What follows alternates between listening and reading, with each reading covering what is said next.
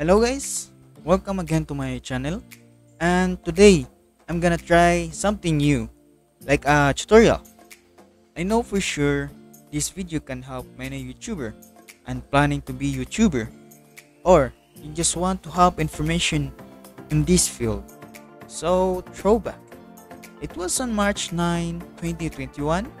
I was able to surpass the minimum threshold of Google AdSense and it took me 4 tries of resending PIN before I was accepted and verified by Google AdSense.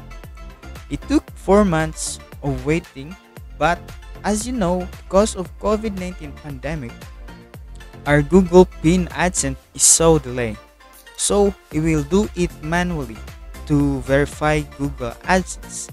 And take note guys, you must verify Google AdSense within 4 months so that your ads won't be removed or stopped by Google.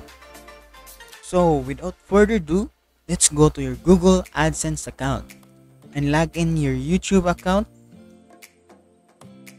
After you log in your YouTube account, you can see this area that needs a pin. Click this three dot and you will see help and send feedback.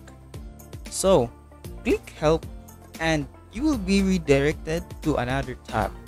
After that, scroll down and find pin troubleshooter. Under having a problem with your pinning. After you are redirected, follow the steps below. Are your earnings greater than verification threshold? If yes, click yes. If no, click no.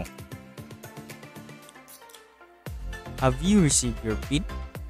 If yes, you click yes and if no, you click no.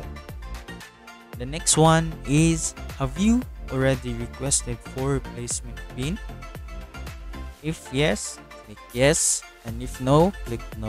So, after that, below you can see contact us and click it.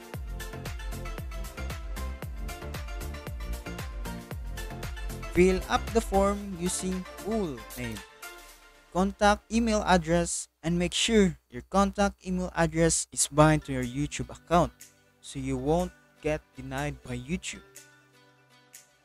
And after that, publisher ID.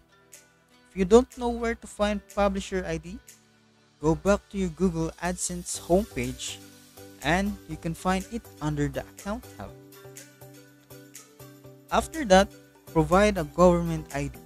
So, I use a postal ID here.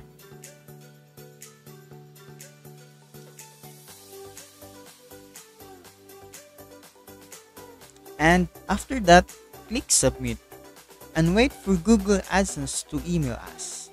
Thank you guys. I hope you find it very helpful.